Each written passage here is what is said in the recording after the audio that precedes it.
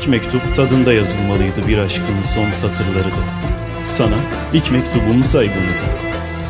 Belki seni çok özleyeceğim ama bil ki seni hep çok sevdim ve her zaman seveceğim.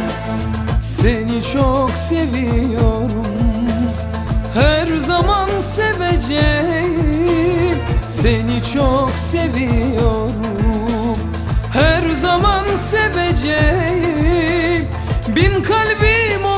sana Hepsini vereceğim.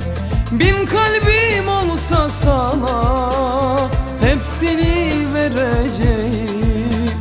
Bir gün kaparsak gözlerimizi Son hıçkırık göklerde buluşturacak bizi.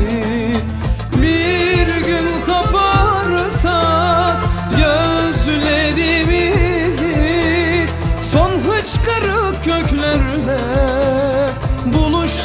buluşturacak bizi Sana bu kez okeyden çaldığımız taşları değil, yüzünün kıblesine okuyamadığım duaları yazdım. Ne ezberleyip unuttuğumuz Hicaz şarkıları, ne de Zula'da söndürdüğümüz sigaraları. Beyaz yalanlarımızın ince hesaplarını da değil, yıllardır içimden sayıkladıklarımı yazdım sana. İdamımın son dileğine taşıyamadığım itiraflarımı, çaldığım yıllarımı yazdım bu kez sana. İçimin en iç yanı. Sakın ağlama sen. Yokluğumu da at pencereden şimdi.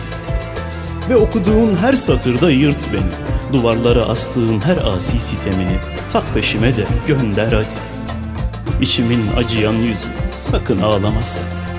Ağzımdan her kaçanı ezberle sadece. Ve söyleyemediğim diğer yalanları da.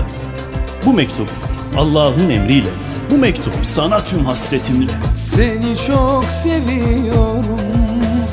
Her zaman seveceğim.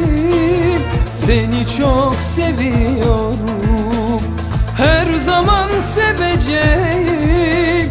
Bin kalbim olsa sana Hepsini vereceğim.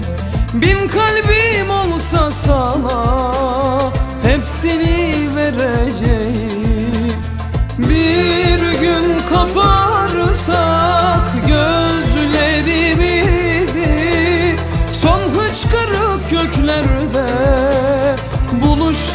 buluşturacak bizi Bir gün kaparsak gözlerimizi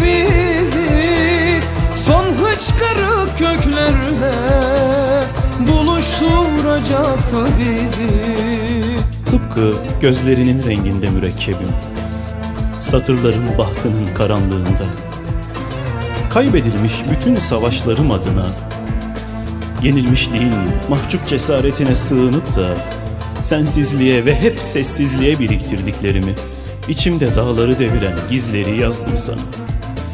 Bir gün bu hikayenin de biteceği aslında hep aklımda. Sana veremediğim bütün sözler artık son satırlarımda.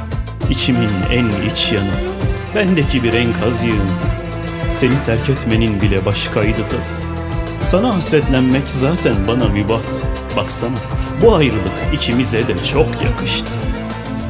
İçimin acıyan yüzü sakın ağlama sen. Bendeki bir ayrılığın hüznü Sende kaybetmişliğin acı telaş İnan seninki çabuk geçer Ama benim ayrılığım kim bilir Kim bilir kaç ömür sürer.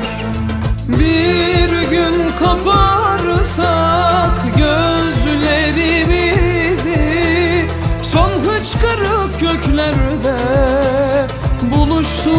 buluşturacak bizi